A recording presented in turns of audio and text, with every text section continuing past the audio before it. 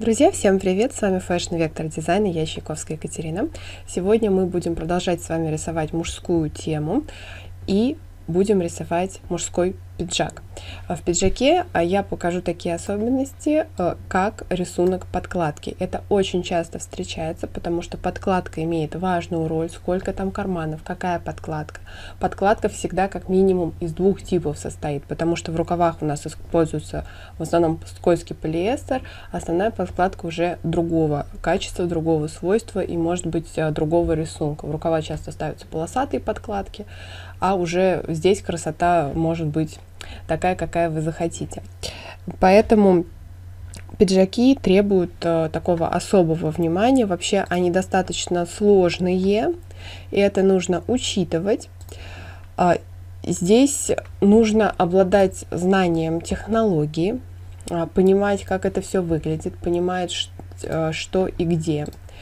Я очень рекомендую перед тем, как, если вы решитесь э, рисовать э, пиджак действительно для производства, а, ну, нарисовать, а после этого поговорить с конструктором и технологом, чтобы он вам посоветовал, а, порекомендовал, а что и как сделать. Поэтому а, как бы свои мысли, да, посмотрите примеры, которые вы найдете в интернете, их много, как отрисовывать пиджаки, и, конечно же, посоветуйтесь э, с грамотными конструкторами, технологами, производственниками, которые вам э, подскажут. Конечно, каждое производство своим занимается, и есть много фирм, которые просто как бы рисуют приблизительный эскиз, потом отправляют в Китай, и они там все делают, но то, какие они лекала там сделают, тоже непонятно. Итак, мы берем эскиз мужской, Скачать его можно по ссылочке под этим видео, я ее оставляю, можете зайти и скачать. И начинаю рисовать наш с вами пиджак.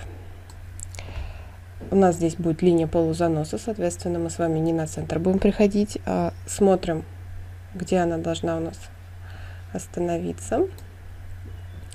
Так, мне нужна не пунктирная линия. Вот. И это у меня получается лацкан. Да? Лацканы а, в зависимости от моды вида изменяются. Когда-то они больше по размеру, когда-то они меньше по размеру. А, линия вот раскепа, они тоже, это очень а, по-разному и во многом зависит от моды. Нужно смотреть как бы, а какая мода сейчас, а что вы хотите сделать. Мы будем рисовать более, давайте скажем так, спокойно классический вариант, да, а, но его можно потом будет э, модифицировать. Иногда, кстати, вот эту часть воротничка рисуют отдельно, и она может быть э, сделана, например, из э, другого материала. То есть я сейчас могу просто вот так взять, вот так вот разрезать и э, там, за, из замши, из кожи делают. Но единственный минус в этом во всем есть, потому что это рядом с шеей, э, и место затирается достаточно быстро. То есть вот, вот так. Видите, я разрезала, получила абсолютно такой же кусочек и поставила его на место. Теперь, если я буду заливать, я могу это залить одним цветом, а это залить другим цветом. Если мне это понадобится, потом а, в рисунке. Так, теперь у нас с вами плечо. Плечо тоже нужно смотреть. Бывает мода, когда а, плечики заужаются. Вот я, например, смотрела турецкий сериал, у них вот зауженные плечики, да. Бывает э, мода, когда, ну, плечо, в принципе, вот оно на месте. Бывает, э, когда плечо дополнительно расширяется. А, иногда при помощи пиджака получается спрямить кривизну фигуры. А, у людей бывает а, перекос по позвоночнику, достаточно сильный, и именно пиджак часто позволяет а, человека сделать, ну, условно говоря, прямым, да. То есть иногда делают неравномерные подкладки в плечи, таким образом формируя желаемую линию. Так, линия низа. Опять же, длина пиджака тоже э, разная. Обычно это середина бедра, но сейчас, например, в моде оверсайз и пиджаки могут быть намного больше по размеру, могут быть более приталенные, могут быть более широкие. Вот здесь не рекомендую сразу прям вот в плечо впечатываться, даже у очень тонких трикотажных пиджаков обычно дают либо подокатник, а, либо, ну, все равно там, там что-то есть. То есть крайне редко бывает, что у пиджаков плечо оставлено на волю, и ничего с ним не сделано. Ну, то есть либо какое-то уплотнение, либо еще что-то обычно делается, иначе пиджак не держит форму. И это получается некрасиво. Поэтому вот эта вот часть, она не будет идти по руке. А, акад тоже формируют определенным образом. И это все нужно учитывать. Так, вот у нас, смотрите, чтобы влезла рука, да, соответственно, нужно пошире давать. Вот. Вот эту линию можно чуть выше, но она будет смотреться вот таким образом. То есть, видите, она вокруг руки.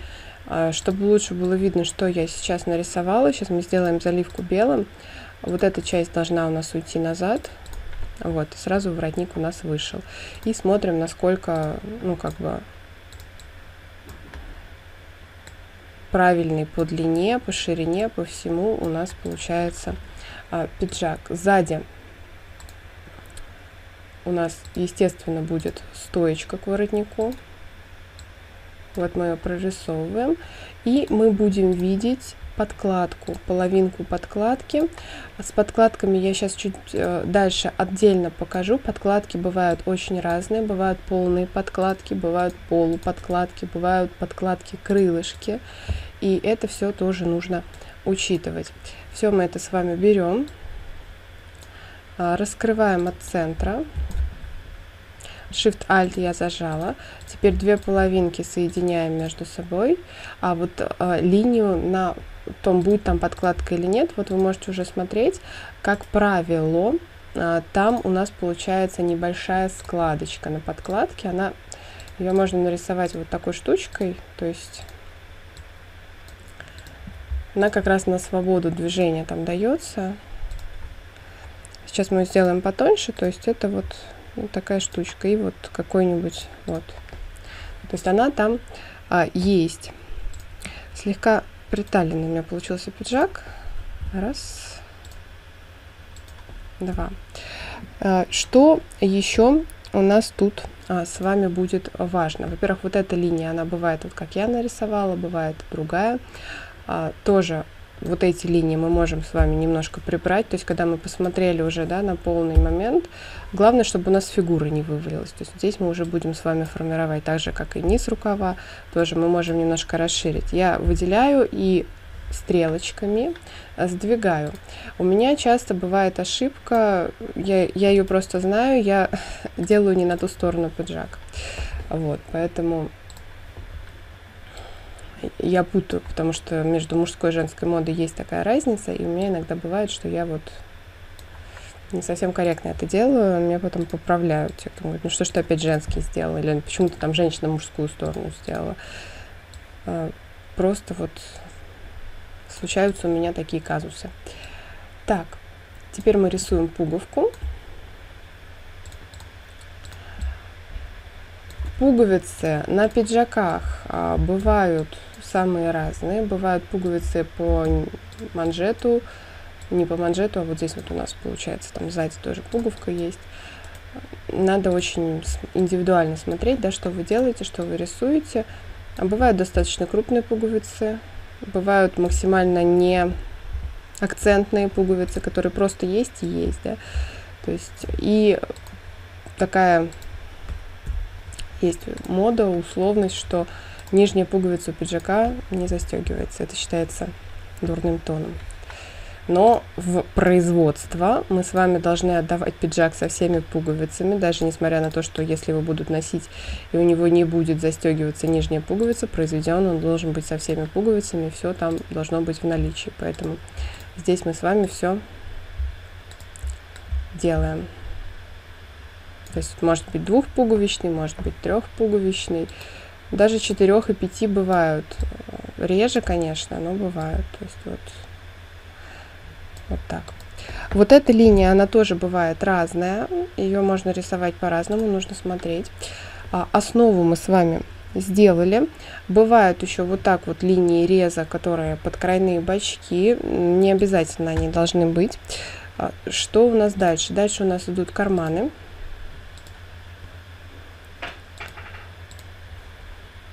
Бывают карманы в рамку, бывают накладные карманы, бывают с клапанами.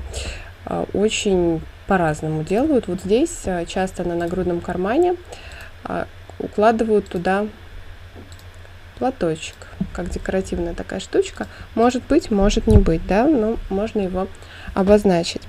Я, например, хочу нарисовать карман с клапаном.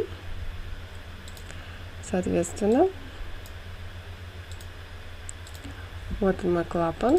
Давайте уберу пока платочек, он не нужен. Бывает еще пунта. Пунта, когда по краю у нас а, ручной стежок, есть имитация пунты. Это, кстати, дорогая штука, и она очень ну, ценится, но и сразу удорожает производство. То есть, если есть пунта, это хорошо. А если нету пунты, то, ну, как бы,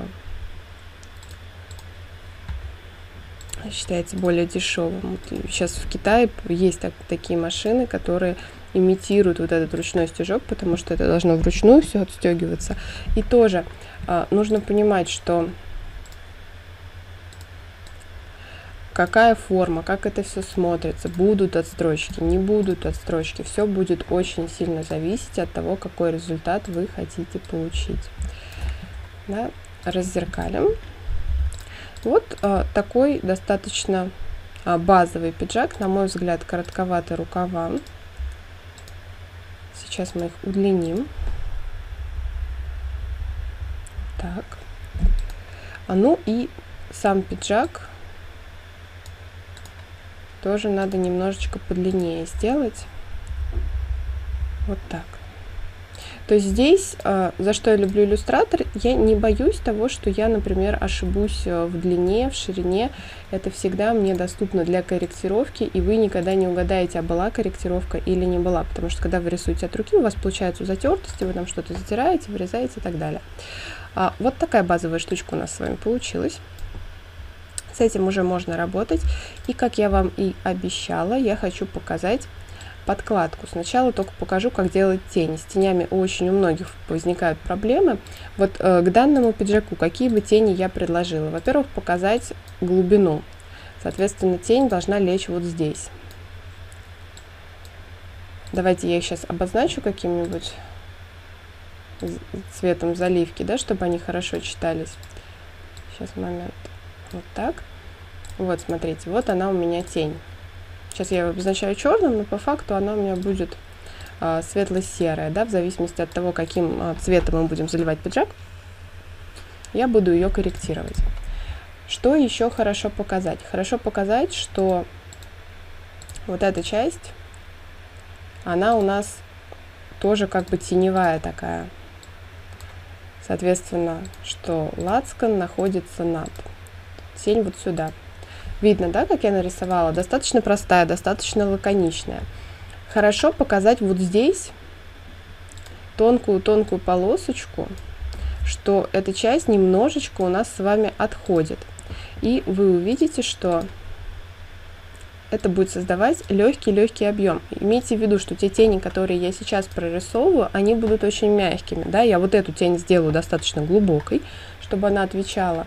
А потом, что такое у нас пиджак? Пиджак это цилиндр. Соответственно, для формирования цилиндра вот эту боковую часть мы с вами делаем более темной. Вот так. Здесь можно тоже забрать, но не так интенсивно. То есть одну сторону лучше сделать более интенсивно, вторую сделать более мягко. И вот таким образом сюда а, применить. Рукав. Рукав можно сделать теневым по внутренней части. Вот здесь. При этом можно сделать загиб по линии рукава, можно этого загиба не делать. Это зависит от того, как бы, что вы хотите показать. Здесь можно сделать тоже потоньше. Как видите, одну сторону я делаю чуть более акцентную, вторую чуть более мягкую. Вот, в принципе, этого количества теней будет достаточно. Можно добавить еще дополнительные тени на карманы под... Вот у нас с вами есть клапан и под клапан, э, чтобы было ощущение объема. Рисуется она очень просто, то есть вы рисуете по контуру вот этот вот клапан и под клапаном такую тонкую полосочку. То есть клапан нависает, и под ним образуется легкая тень. То есть это совершенно вот, ну, логически понятно, почему она там есть. Вот, сдублировали, чтобы ее второй раз не рисовать, потому что карманы у нас с вами симметричные.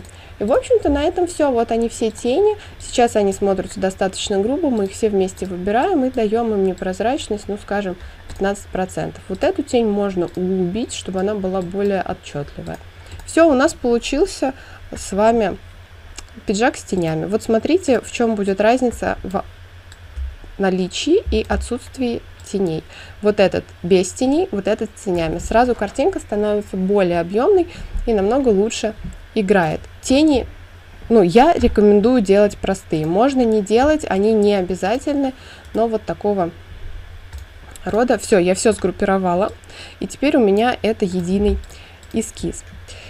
Итак, Следующий этап, о котором я вам говорила, это подкладка. В пиджаках подкладка играет достаточно большую роль, как она будет располагаться, полная подкладка там и так далее. Давайте мы с вами нарисуем сначала полную подкладку, а после этого а, уже от нее сделаем вариации.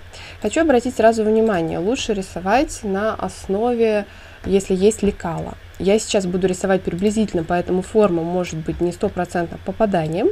Буду рисовать только одну половинку, потом раззеркалю и потом добавлю элементы. Что мы рисуем? Смотрите, подкладка у нас будет вот отсюда начинаться, да, по спинке. Соответственно, вот она у нас полугорловина, вот он у нас рукав, вот у нас с вами пошла пройма, правильно?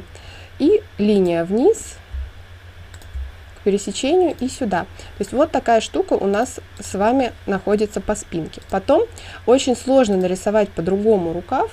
Рукав прорисовывается вот так, то есть вот сюда у нас вшивается рукав. И вот на этом кусочке мы его видим, потому что ну, подкладка же внутри находится, правильно?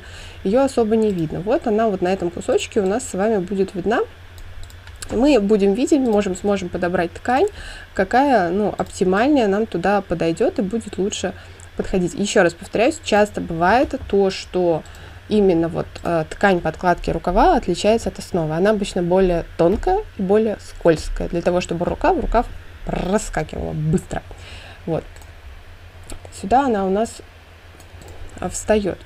А теперь у нас с вами вторая часть. Это вот представьте, что мы раскрыли. И вот она у нас получается. Соответственно, вот так. И здесь нужно понимать, что мы сразу с вами раскрываем еще и воротник. Я сейчас условно нарисую, да, но это, конечно, лучше поль, ближе к лекалам нарисовать. А, тогда оно получается, ну, как, как, как, как, как-то поживее, поинтересней. Так, немножко я не добрала высоты. Так, вот так. Теперь вот так, вот так. Сейчас еще потом добавлю загибов, потому что их не хватает явно. Вот так. Ну и вот так. Здесь у нас полукруг.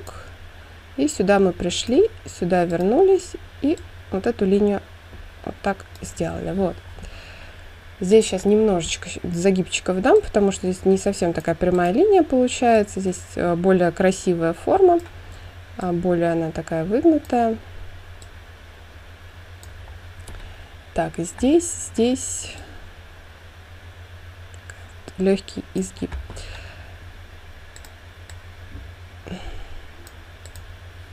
Вот.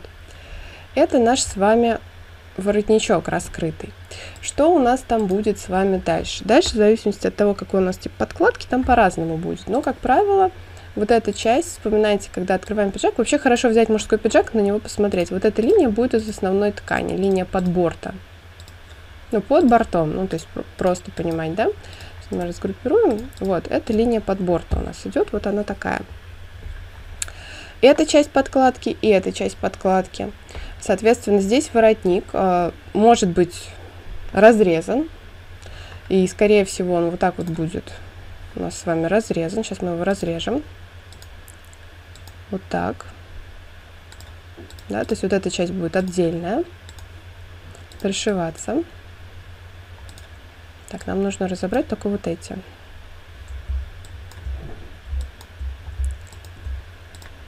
Что случилось? Вот. Разбираем. Так, теперь вот эту всю красоту, у нас же с вами пиджак симметричный, правильно, мы ее при помощи инструмента зеркальное отображение раззеркаливаем. Центральная часть, как правило, у нас тоже единая. Вот у нас уже базовая схема получилась. Давайте приблизительно прикинем по высоте, чуть пониже он должен быть, да? А, чуть-чуть, вот, вот, вот так. Ну, приблизительно, чтобы было понимание. То есть обычно рисуется вид спереди, э, вид сзади и подкладочка прикладывается, чтобы конструктор, когда с этим будет работать, он понимал, а что вы туда заложили, а как бы вы это хотели видеть. Что еще важно в пиджаке? Как правило, в пиджаке у нас достаточно много карманов, потому что мужчины там много всего носят, начиная от ручки, заканчивая там всякими документами и всем остальным. А вот. Соответственно, кармашки могут быть тоже разные. Давайте мы сделаем сейчас кармашек в рамочку. Мы, кстати, в свое время, когда производили а, пиджаки, то мы делали вот эти кармашки из замшевой такой вот штучки. Очень красиво было. Могут быть просто в рамочку. И, соответственно, количество карманов. Он может быть один. А, то есть, но вы учтите, вот я сейчас это рисую, это потом будет передаваться конструктору, и конструктор мне задаст вопрос, а вот здесь же еще две мешковины, и там один у нас вот здесь накладной карман, а если бы он был прорезной, там еще бы у него мешковина была, ну то есть это все тоже, тоже нужно учитывать. Так, то есть вот так, пониже чуть-чуть сейчас. Вот эти части вытащим вперед. Вот. Что у нас тут? Вот будут петельки вот здесь, да, там с другой стороны будут пришиваться пуговки, здесь будут петельки.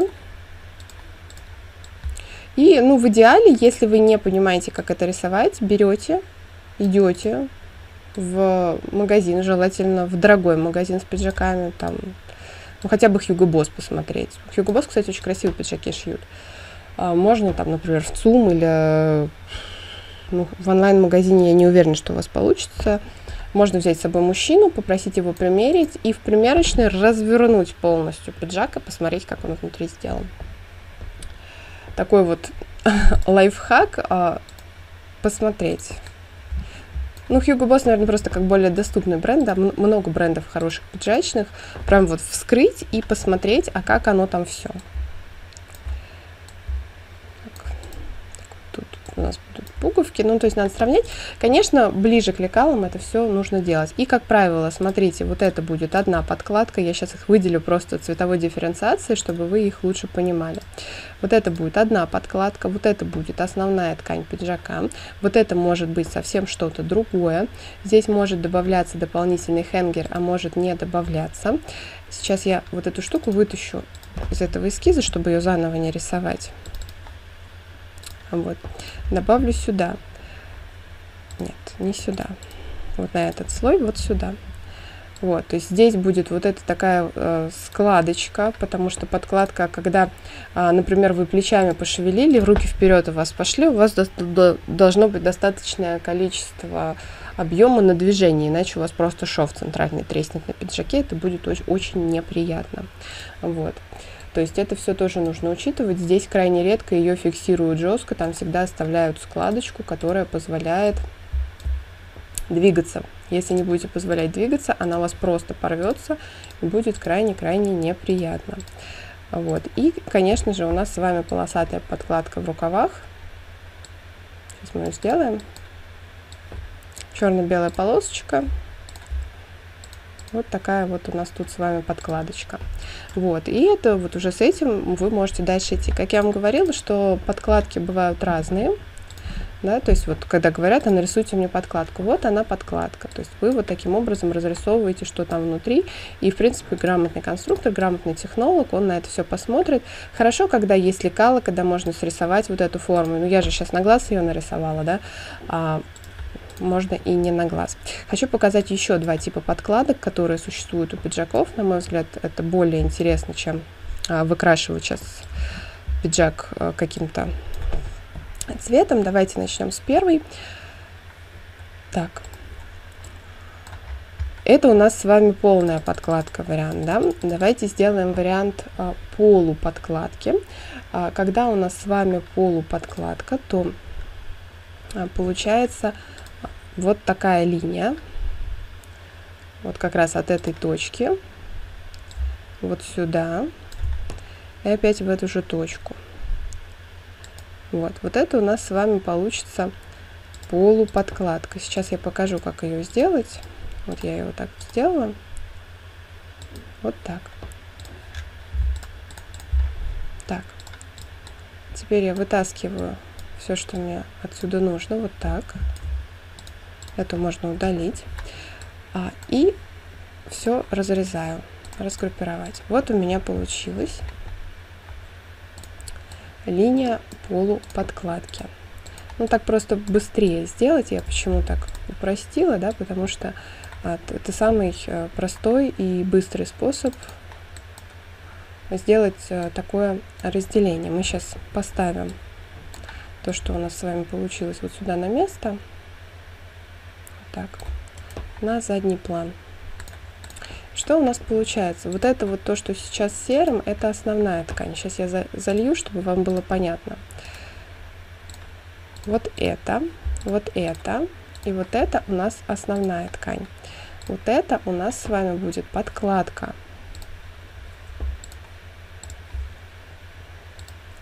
Вот она подкладка. Здесь на ней располагаются карманы.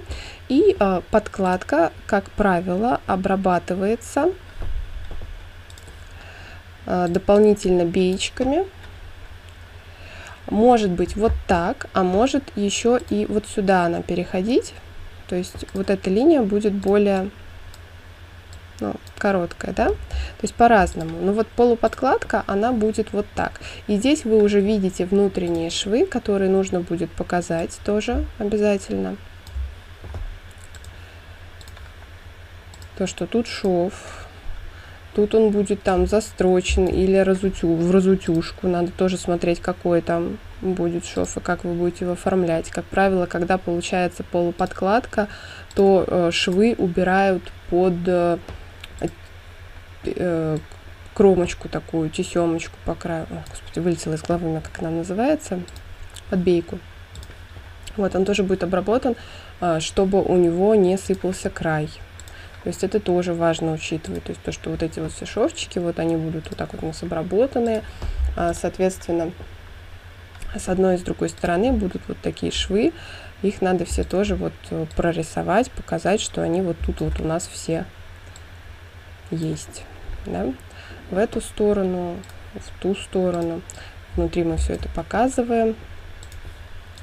Сейчас вот это мы на задний план. Вот так, конечно, быть не может. Соответственно, сейчас мы добавим.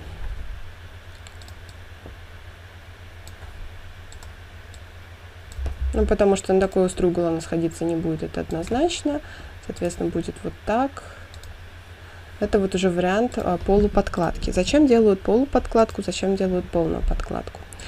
А, пиджаки носят в разную погоду. Я думаю, что вы это все прекрасно понимаете. И, например, в летних пиджаках, которые шьются из тонких тканей, могут быть и льняные, а, делают специально полуподкладку, чтобы элементарно не было так жарко в изделии. Потому что вот здесь, получается, все дышит, а здесь у нас с вами будет линия низа, да, то есть, ну, вот это вот все, оно как бы аккуратно оформляется, все делается, все прописывается. По краю подкладки тоже, скорее всего, будет подгиб, подстрочка. Здесь мы будем видеть подгиб основной ткани вот так вот. Вот так вот. Вот, на нем мы будем видеть э, следы основной ткани. Основных швов. То есть если здесь шов, то вот по этой части, там где отстрочка, у нас вот здесь шов с вами проходит, да, а где отстрочка вот здесь центральный шов, и где отстрочка вот здесь центральный шов. Вот оно будет вот таким образом у нас формироваться. Так, здесь у нас тоже должны быть единички с черным контуром. Вот, это уже другой тип подкладки, видите, как они отличаются. Бывают э, подкладки крылышки, а, и тогда, вот, кстати, крылышки это вообще летний вариант. Давайте вот эту возьмем. Сейчас я покажу. Она видоизменяется тогда. То есть вот эту часть мы с вами, получается, видим а, изнанку пиджака. А, крылышко вот такое. То есть только верхняя часть у нас с вами закрыта крылышком а все остальное тонкий. Очень часто крылышки ставят в трикотажные пиджаки. Одно время они были очень популярны, они безумно удобные. Ты, получается, в пиджаке, но по факту, по ощущениям, как будто бы ты в удобном джемпере. Действительно очень удобная история. И вот э, такие подкладочки, они позволяют пиджак сделать ну, максимально комфортным. Да? То есть вот так вот он будет с нахлестом. Одна часть будет сверху, одна часть будет снизу. А здесь сразу вот это, это подкладка, да, то, что я обозначаю другим цветом. А вот это мы будем видеть с вами основную ткань. Вот. Сейчас белым, даже белым обозначается. А что здесь делаю, чтобы сейчас удобнее нарисовать? Вот эти части солью между собой. Вот этот мусор, который у меня получился после слияния, я вот так вот выберу. Delete. Выбираю э, инструментом лассо, это очень удобно, позволяет выделить только нужные мне точечки и удалить. Вот. Здесь у нас э, будет э, форма у подкладки немножечко другая. Сейчас будем резать с вами основу, да. Здесь будет вот такая вот часть коротенькая. Вот так она будет происходить. Я сейчас копию создам, чтобы не резать основу саму, а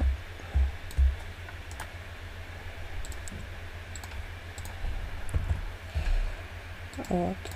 Так, это можно убрать. Вот эти сейчас разрежем, смотрите, разрезаем. Да, и мне нужна только вот эта часть. Только вот этот кусочек маленький. Она тоже будет подкладкой. Она вот здесь вот рядом с плечиком будет находиться. И вот она как раз все мне будет вот давать то, что мне нужно. Здесь тоже, здесь же может быть у нас э, тесьмой обработано, может быть под гибкую обработано. Главное, чтобы все было аккуратно. Это тоже все нужно учитывать. Здесь э, форма будет скорее всего, вот такая. И, ну, это я, я импровизирую, да, нужно смотреть. То есть это будет э, очень крайне вероятно, что из основной ткани. Вот. Тоже там по краю надо будет смотреть, как она будет себя вести. Это лишнее, это лишнее. Все, что наплодили лишнее, все сразу убираем, не нужно его оставлять. Вот, эту форму сейчас я вам покажу. Вот она разрезалась. Убираем лишнее все. Мне нужна только вот эта формочка. Больше ничего от нее не нужно. Вот, смотрите, получилось. И мы ее вот сюда вот так вот вставляем. Понимая, что вот эту часть будет сверху. Вот, и она должна у нас быть из основной ткани. Соответственно, сейчас мы ее под основную ткань и делаем. Убираем все это назад. Вот эти три кусочка назад. Вот. Соответственно, кармашки могут немножко переместиться, кармашки надо смотреть по расположению, но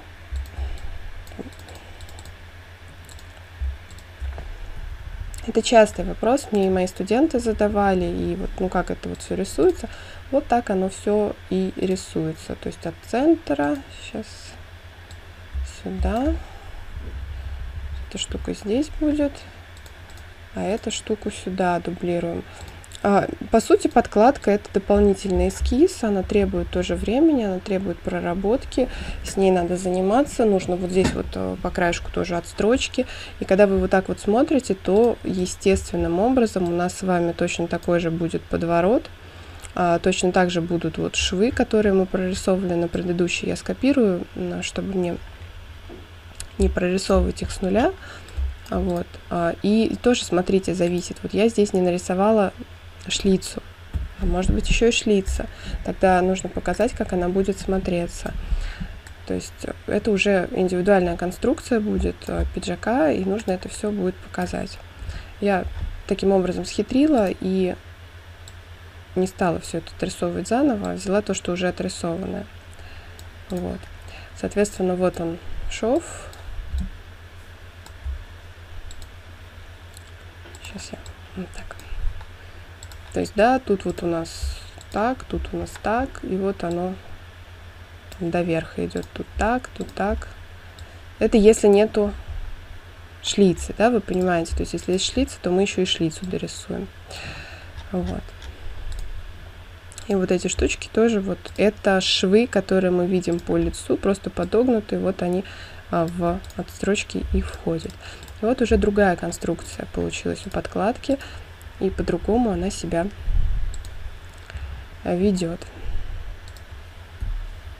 количество отстрочек и всего остального, ну, сами понимаете. То есть здесь тоже может быть бейка, здесь, здесь швы. Это все нужно прорисовывать. Но это вот э, то, что у нас касается подкладок, то, что я хотела вам показать. Они бывают очень разные. Вот смотрите, какой пример. То есть может быть э, полуподкладка, может быть э, крылышки подкладка. И то, и то имеет право на существование. Оно не говорит, что что-то одно хорошо, что-то другое плохо. А просто вот оно а, есть. И еще последний наш штрих, который мы всегда делаем, я хочу вам показать а, пиджак в цвете. А, для того, чтобы мне взять цвета, вот вспомните, мы рисовали брючки 92 эскиз, он есть. Копирую то, что у меня уже залито. У нас сразу можно будет с вами сделать костюмы. Поскольку мы с вами а, рисуем на шаблоне, то, ну, соответственно, костюмы будут э, правильного размера, как вы понимаете. Сейчас мы вот это вот так вот подвинем. И мне нужно будет э, собрать мои костюмчики. Начнем с первого.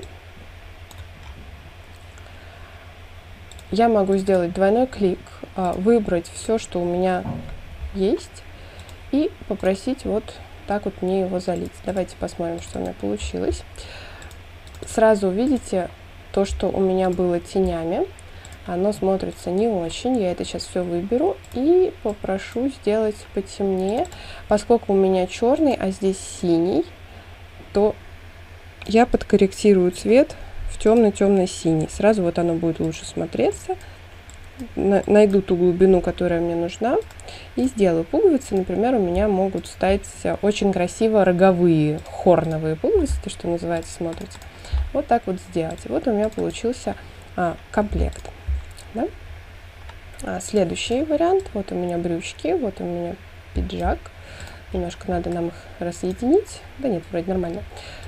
Вот. Соответственно, тоже двойной клик. А я выбираю все, что у меня здесь. И, соответственно, говорю вот этими тканюшечками. Вот они у меня перезалились. Сейчас сделаю еще один момент. Я его здесь не показала, не учла. Сейчас я вам его тоже покажу. А, вот интересно, вы смотрите, вы сейчас поняли, вот в чем у меня ошибка, что я сделала не совсем корректно? Если поняли, напишите, в чем я сейчас ошиблась и что неправильно. Вот здесь внутри у меня будет подкладка. И она может быть, ну, например, коричневая. Кстати, очень красивое сочетание смотрится. Я сначала тоже в это не очень верила, а потом, когда мы сделали несколько вариантов, здесь может быть там темно-серая или черная подкладка. Здесь может быть светло-серая подкладка. И иногда, кстати, у пиджаков именно за счет подкладки делают какие-то интересные моменты. То есть может быть совершенно абсолютно классический пиджак, а, например, у него ярко-оранжевая подкладка. То есть, смотря на человека, вы никогда не угадаете, если он его снимет, то там вот такой вот ой. Вот, это очень светлый цвет получился. Сейчас мы потемнее сделаем. Поэтому вот может быть бежевый и так далее. Ну вот у нас с вами получился не просто три пиджака, а у нас получился комплект, и вот мы можем показать, из каких потенциальных тканей оно у нас а, с вами будет и как оно будет смотреться. Вот, пожалуйста можно покрасить и по-другому.